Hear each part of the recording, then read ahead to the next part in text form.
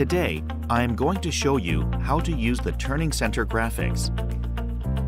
You can use the graphic function to check the toolpath of the completed program. Therefore, we need to see the graphics while the machine is not running. So let's set the machine lock function, which is used to stop the machine. The machine lock function is composed of the M code. Select the MDI mode and press the Program button, and then input the machine lock code M17 once. Press the Cycle Start button to lock the machine. Then you will hear an alarm and see the operator's message, Machine Locked.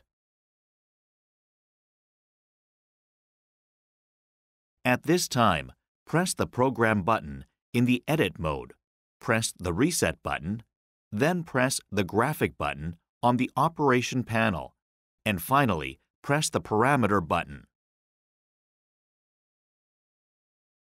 On this screen, you can set the length or diameter of the workpiece as you wish. Here, I have entered 100 millimeters for length, 70 millimeters for diameter, and 1 for auto clear. The other fields are automatically modified according to the values I have entered. If you press the Page Down button here, a graphic color setting window will be displayed.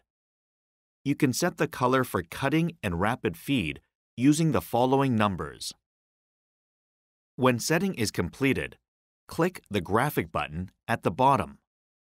Then, the coordinates are set based on the length and diameter value of the workpiece you have entered before.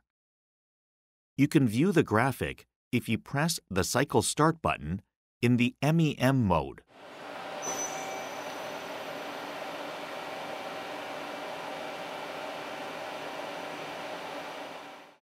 The graphic drawing is finished.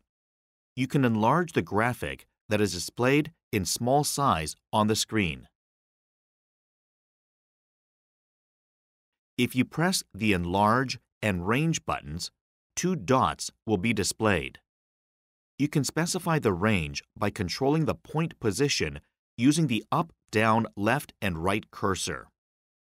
If you align the position and press the Execute button, the magnification and the graphic screen position will be changed.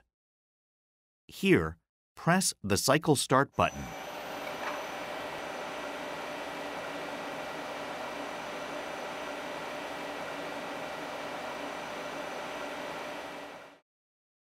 When you finish viewing the graphic, press the Parameter button and delete the existing input values or reset using the Standard button. If you have viewed the graphic, release the machine lock that you set before.